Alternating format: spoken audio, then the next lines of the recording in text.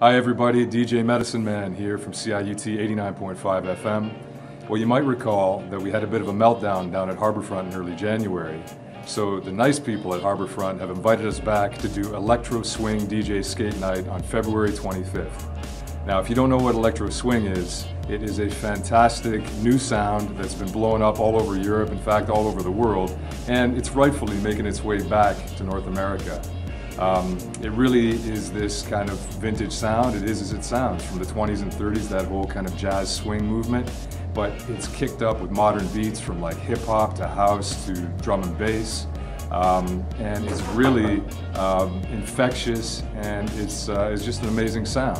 What's really cool about uh, electro swing is that back in the era, um, these big bands were like the sound system essentially. And it's really cool because, you know, they didn't have the technology that we have nowadays, but then it's like, imagine, like in Jamaica, for example, all of a sudden in the 70s, these big sound systems were created and dub and reggae music prolifer proliferated around the world. Well, that was kind of the equivalent for uh, back in the 30s and 40s of that era. And now, of course, we have clubs and we have all these massive sound systems because technology permits it. But it's really cool then that that whole vintage sound is now making its way into modern music with all these beats and, and uh, contemporary um, production. You know, I really, I think, I mean, at this point, it's blowing up all over the place. I mean, you know how it is. Things come and go, trends come and go. But I really think it's here to stay because it's so infectious. I think there's a real nostalgic feel to it. But what's really interesting is that uh, because all these different genres of music are kind of coming together around electro swing, there's something for everybody. So if you happen to be, you know, a Rasta into reggae, there's definitely some stuff in the electro swing genre that's going to work for you, or drum and bass, or jungle for that matter. But if you happen to be more of a house, hip hop, um, R&B head, well, there's definitely stuff for you as well. So it's really eclectic and diverse, but the most important thing is it just is really fun and it really is uplifting in a way that I haven't heard music in a long time. What's really cool about uh, electro swing, beyond the music itself, which is awesome and I love it, is kind of culturally, if you think about, it, if you go back to the, the, the era where uh, swing came from, it was during the Prohibition. So people weren't allowed to legally drink, for example, and they created these really cool underground bars called speakeasies. You might have heard of those.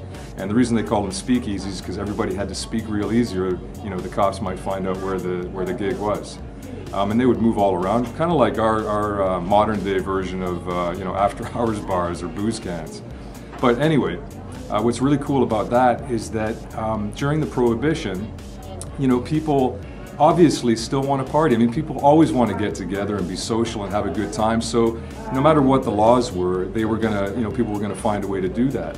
But I think what's really interesting nowadays is that, you know, obviously it's a very different time, things have changed dramatically, but we live in an age uh, where there is a lot of economic uncertainty as well, because that was definitely a feature back um, in those days, you know, with the depression and everything. And I think that people are looking for a way to cut loose. I mean, I think a little bit more than ever, um, people are working really hard, they don't have a lot of time, and they're looking for ways to have a lot of fun. And I think somehow, whether overtly or maybe, um, you know, it's just kind of uh, through osmosis, I think people get that with this music. And it just gives you license to, you know, kick up your heels and, and uh, you know, just have a great time. It's really an infectious music.